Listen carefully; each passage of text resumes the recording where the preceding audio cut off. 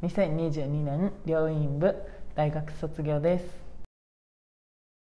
夏はテラス冬はスキー場と自然を感じながら仕事ができることに魅力を感じ入社しました。店内掃除のオープン作業から始まり商品の提供などの接客を行っています。最近では生産業務も任せてもらっています。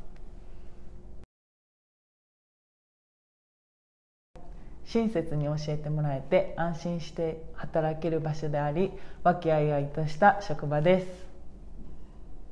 店舗によってメニューなどが違い覚えるのが大変でした。